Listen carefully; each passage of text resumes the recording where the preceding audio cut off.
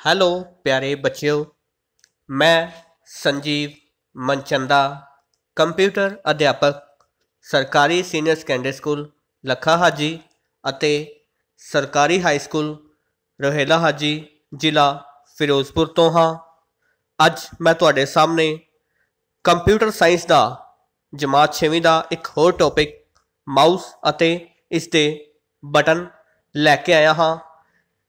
ਪਿਛਲੀ ਵੀਡੀਓ ਤੁਸੀਂ ਸਾਰਿਆਂ ਨੇ ਮੇਰੀ ਦੇਖੀ ਹੋਏਗੀ ਕੀਬੋਰਡ ਅਤੇ ਇਸ ਦੇ ਬਟਨਾਂ ਸੰਬੰਧੀ ਜਾਣਕਾਰੀ।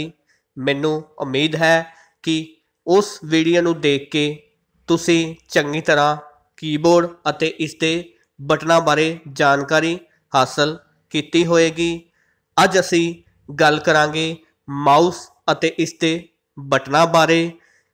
ਇਹ ਟੌਪਿਕ ਜਮਾਤ 6ਵੀਂ ਦਾ ਹੈ, ਪਰ ਮੈਂ ਚਾਹੁੰਦਾ ਹਾਂ ਕਿ ਸਾਰੀਆਂ ਜਮਾਤਾਂ ਦੇ ਬੱਚੇ ਅਤੇ ਜਿਨ੍ਹਾਂ ਨੂੰ ਮਾਊਸ ਸੰਬੰਧੀ ਜਾਣਕਾਰੀ ਨਹੀਂ ਹੈ ਅਤੇ ਪੂਰਾ ਇੰਟਰਸਟ ਰੱਖਦੇ ਹਨ ਕੰਪਿਊਟਰ ਦੇ ਵਿੱਚ, ਤਾਂ ਉਹਨਾਂ ਨੂੰ ਇਹ ਵੀਡੀਓ ਜ਼ਰੂਰ ਦੇਖਣੀ ਚਾਹੀਦੀ ਹੈ ਤਾਂ ਕਿ ਤੁਹਾਨੂੰ ਮਾਊਸ ਬਾਰੇ ਚੰਗੀ ਤਰ੍ਹਾਂ ਪਤਾ ਲੱਗ ਸਕੇ।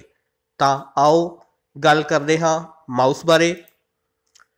ਬੱਚਿਓ, ਮਾਊਸ ਇੱਕ ਮਹੱਤਵਪੂਰਨ ਇਨਪੁਟ ਯੰਤਰ ਹੈ।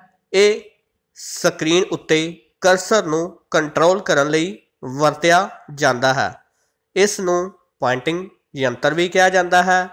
ਆਮ ਤੌਰ ਤੇ ਇਸ ਦੇ ਤਿੰਨ ਬਟਨ ਹੁੰਦੇ ਹਨ।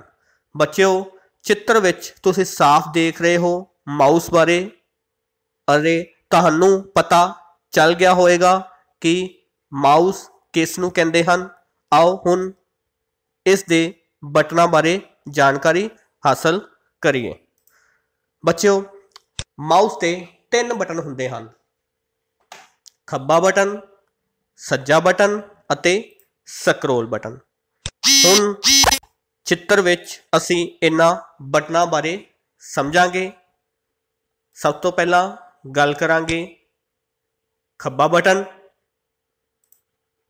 ਤੀਰ ਦੇ ਨਿਸ਼ਾਨ ਤੋਂ ਤੁਹਾਨੂੰ ਪਤਾ ਚੱਲ ਜਾਏਗਾ ਕਿ ਕਿਸ ਨੂੰ ਖੱਬਾ ਬਟਨ ਕਿਹਾ ਜਾਂਦਾ ਹੈ? ਗੱਲ ਕਰਦੇ ਹਾਂ ਸੱਜੇ ਬਟਨ ਦੀ। ਤੀਰ ਦੇ ਨਿਸ਼ਾਨ ਤੋਂ ਤੁਹਾਨੂੰ ਪਤਾ ਚੱਲ ਗਿਆ ਹੋਵੇਗਾ ਸਕਰੋਲ ਬਟਨ ਤੀਰ ਦੇ ਨਿਸ਼ਾਨ ਤੋਂ ਪਤਾ ਚੱਲ ਗਿਆ ਹੋਵੇਗਾ ਕਿ ਸਕਰੋਲ ਬਟਨ ਕਿਸ ਨੂੰ ਕਹਿੰਦੇ ਹਨ। ਆਓ ਹੁਣ ਇਹਨਾਂ ਬਟਨਾਂ ਬਾਰੇ ਪੜ੍ਹੀਏ। ਸਭ ਤੋਂ ਪਹਿਲਾਂ ਅਸੀਂ ਗੱਲ ਕਰਦੇ ਹਾਂ ਮਾਊਸ ਦੇ ਖੱਬੇ ਬਟਨ ਦੀ। ਬੱਚਿਓ ਜ਼ਿਆਦਾਤਰ ਖੱਬਾ ਬਟਨ ਹੀ ਵਰਤਿਆ ਜਾਂਦਾ ਹੈ। ਜੇਕਰ ਖੱਬਾ ਬਟਨ ਇੱਕ ਵਾਰ ਦਬਾਇਆ ਜਾਵੇ ਤਾਂ ਇਸ ਨੂੰ ਕਲਿੱਕ ਕਰਨਾ ਕਿਹਾ ਜਾਂਦਾ ਹੈ ਅਤੇ ਜੇਕਰ ਇਸ ਨੂੰ ਦੋ ਵਾਰ ਦਬਾਇਆ ਜਾਵੇ ਤਾਂ ਇਸ ਨੂੰ ਡਬਲ ਕਲਿੱਕ ਕਰਨਾ ਕਿਹਾ ਜਾਂਦਾ ਹੈ। ਬੱਚਿਓ, ਚਿੱਤਰ ਵਿੱਚ ਸਾਫ਼ ਦੇਖ ਰਹੇ ਹੋ ਕਿ ਮਾਊਸ ਨੂੰ ਵੀ ਕਿਵੇਂ ਗ੍ਰਿਪ ਵਿੱਚ ਫੜਿਆ ਹੋਇਆ ਹੈ। ਤਾਂ ਤੁਸੀਂ ਵੀ ਕੋਸ਼ਿਸ਼ ਕਰਨੀ ਹੈ, ਐਵੇਂ ਹੀ ਮਾਊਸ ਨੂੰ ਗ੍ਰਿਪ ਵਿੱਚ ਫੜਨਾ ਹੈ ਔਰ ਐਵੇਂ ਹੀ ਬਟਨ ਪ੍ਰੈਸ ਕਰਨਾ ਹੈ। ਚਿੱਤਰ ਵਿੱਚ ਸਾਫ਼ ਦਿਖਾਈ ਦੇ ਰਿਹਾ ਹੈ ਕਿ ਡਬਲ ਕਲਿੱਕ ਕਿਵੇਂ ਕੀਤਾ ਜਾਂਦਾ ਹੈ। ਦੇਖੋ ਧਿਆਨ ਨਾਲ ਖੱਬਾ ਬਟਨ ਡਬਲ ਕਲਿੱਕ ਕਿਵੇਂ ਹੋ ਰਿਹਾ ਹੈ। ਅੱਗੇ ਗੱਲ ਕਰਦੇ ਹਾਂ ਸੱਜੇ ਬਟਨ ਦੀ।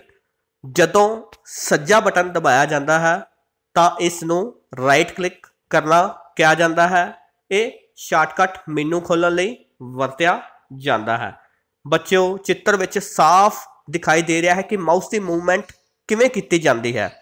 ਅਤੇ ਕਿਵੇਂ ਸੱਜਾ ਬਟਨ ਪ੍ਰੈਸ ਕੀਤਾ ਜਾਂਦਾ ਹੈ। ਤਾਂ ਚਿੱਤਰ ਵਿੱਚ ਸਾਫ਼ ਦਿਖਾਇਆ ਹੋਇਆ ਹੈ। ਕਿਵੇਂ ਮਾਊਸ ਨੂੰ ਗ੍ਰਿਪ ਵਿੱਚ ਫੜਨਾ ਹੈ। ਕਿਵੇਂ ਮਾਊਸ ਨੂੰ ਮੂਵ ਕਰਨਾ ਹੈ। ਔਰ ਕਿਵੇਂ ਬਟਨ ਨੂੰ ਪ੍ਰੈਸ ਕਰਨਾ ਹੈ। ਇਸੇ ਤਰੀਕੇ ਨਾਲ ਤੁਸੀਂ ਚੰਗੀ ਤਰ੍ਹਾਂ ਮਾਊਸ ਦੇ ਬਟਨ ਨੂੰ ਪ੍ਰੈਸ ਕਰਨਾ ਸਿੱਖ ਸਕਦੇ ਹੋ। ਤਾਂ ਆਓ ਗੱਲ ਕਰਦੇ ਹਾਂ ਸਕਰੋਲ ਬਟਨ ਦੀ।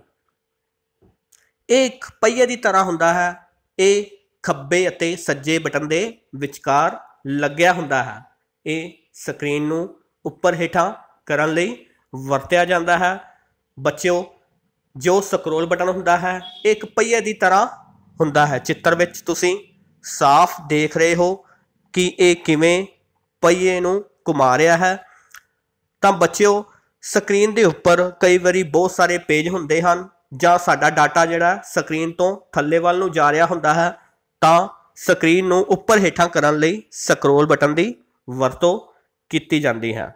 ਤਾਂ ਬੱਚਿਓ, ਅੱਜ ਦੀ ਵੀਡੀਓ ਵਿੱਚ ਤੁਹਾਨੂੰ ਚੰਗੀ ਤਰ੍ਹਾਂ ਮਾਊਸ ਅਤੇ ਮਾਊਸ ਦੇ ਬਟਨਾਂ ਬਾਰੇ ਪਤਾ ਚੱਲ ਗਿਆ ਹੋਵੇਗਾ। ਅੱਗੇ ਆਪਾਂ ਹੋਰ ਵੀ ਇਸ ਤਰ੍ਹਾਂ ਦੀਆਂ ਨਵੀਆਂ-ਨਵੀਆਂ ਵੀਡੀਓ ਲੈ ਕੇ ਆਵਾਂਗੇ, ਜਿਸ ਤੋਂ ਕੰਪਿਊਟਰ ਸਾਇੰਸ ਵਿਸ਼ੇ ਵਿੱਚ ਤੁਸੀਂ ਕਾਫੀ ਗਿਆਨ ਜਿਹੜਾ ਹਾਸਲ ਕਰ ਸਕਦੇ ਹੋ ਤਾਂ ਦੋ ਇਜਾਜ਼ਤ ਧੰਨਵਾਦ।